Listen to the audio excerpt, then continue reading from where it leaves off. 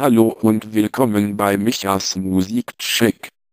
Ich bin Michel und gebe an dieser Stelle Erfahrungen, die ich mit vielen Instrumenten und Zubehör gemacht habe, an euch weiter. Für Anregungen und Kontakt nutzt bitte meine E-Mail-Adresse musikcheck@goformore.de. Viel Spaß mit der Präsentation. Bauform und Geschichte. Die Form heißt Dreadnought, Korpus und Gitarrenkopf orientieren sich an Martin-Gitarren. Die erste Dreadnought-Gitarre baute die Firma Martin 1916. Der Name stammt von einer Schlachtschiffklasse. Da Gitarren damals nicht verstärkt werden konnten, mussten größere Klangkörper her. Diese Bauform ist seither kaum verändert worden und wurde von vielen Mitbewerbern übernommen. Martin hat die Firma Sigma 1970 gegründet, um dem Druck der Mitbewerber aus Fernost, wie zum Beispiel Takamine, etwas entgegenzusetzen. In den 2000er Jahren trennte sich Martin dann von seiner Tochterfirma.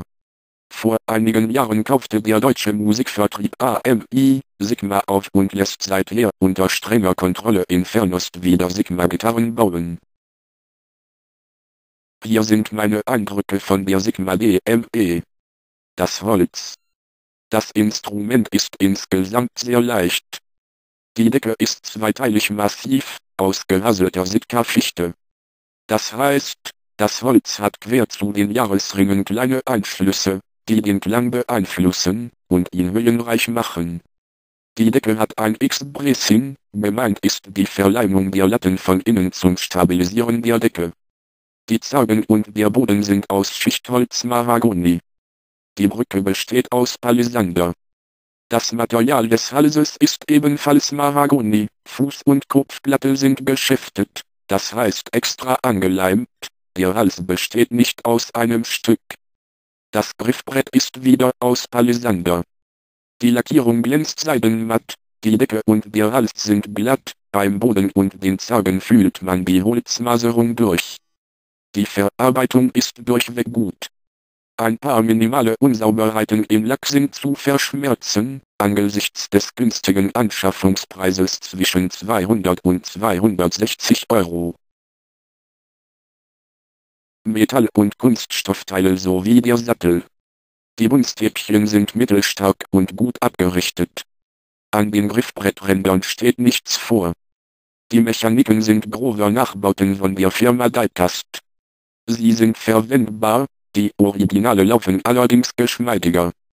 Der Sattel besteht aus Knochen, was bei der Preisklasse eigentlich nicht üblich ist. Hier kommen ein paar Martingine durch. Die Seiten werden mit den üblichen Kunststoffpins in der Brücke befestigt. Die Brückeneinlage ist auch aus Kunststoff, jedoch auf Oktaveinheit ausgeglichen. Es gibt am Korpus nur einen Gurtpin aus Plastik. Hier wurde klar am falschen Ende gespart. Die Bespielbarkeit. Die werkseitigen 013er Seiten und die an der Brücke etwas hoch eingestellte Seitenlage lassen das Spiel auf den unteren Bünden zu. Auf den oberen Bünden zu spielen und Barregriffe zu greifen, wird mit der Zeit etwas anstrengend.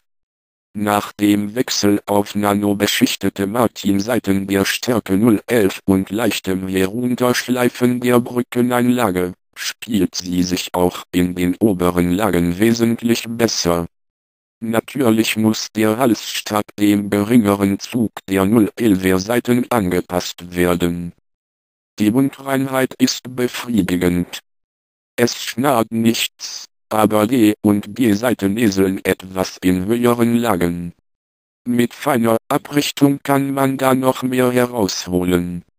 Für eine solche industriell gefertigte Gitarre ist die Mundreinheit in Ordnung. Der Klang. Zuerst unverstärkt. Die gehasselte Decke mit den kleinen Schattierungen quer zur Maserung, liefert einen höhenreichen und obertonreichen Klang. Die Bässe kommen nicht so stark durch, wie man es bei der Bauform der Gitarre erwarten würde, sie sind aber gut hörbar. Es dominieren die Mitten und Höhen, was die Gitarre für den Spieler laut erscheinen lässt. Besonders dann, wenn man dazu singt. Ich denke, der Zuhörer hat den gleichen Eindruck.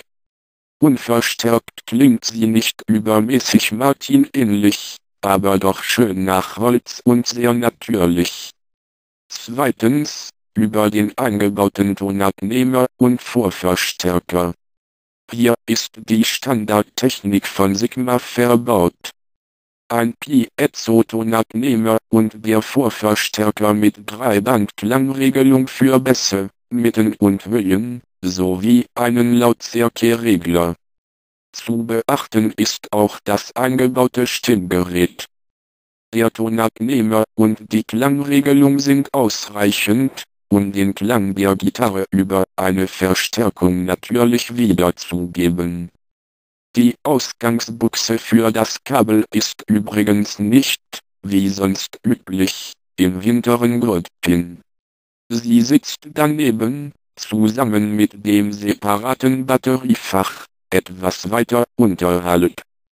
Die Buchsenplatte ist aus Kunststoff, daher empfehle ich, gewinkelte Klingenstecker zu nehmen, um Abbrechen zu vermeiden. Hier nun ein Klangbeispiel.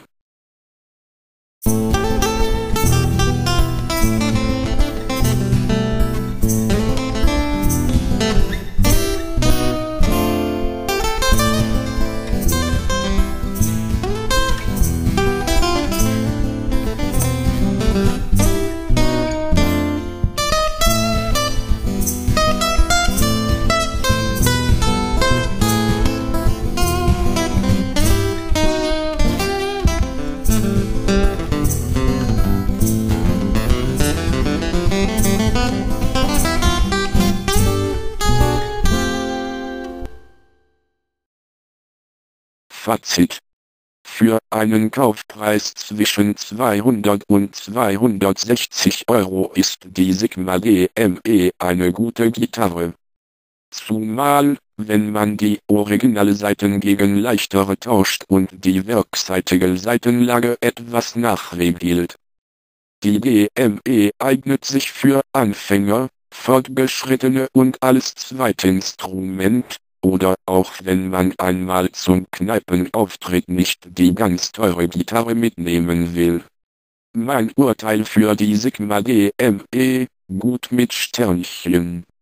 Bis zum nächsten Mal. Euer Michael.